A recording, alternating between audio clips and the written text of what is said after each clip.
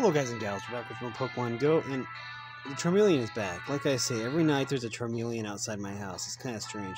Also, we have a Venusaur and a Nidoking, apparently. I don't think I'll catch it yet, but that's a, that's pretty cool. Let's have a look at this Charmeleon. That's cool. But anyways, we have um, a, a thing over, a thing done, a thing done. Um, uh, case. that's what I'm trying to say. So uh, let's go ahead. Oh, we got first place in both of these. Wow.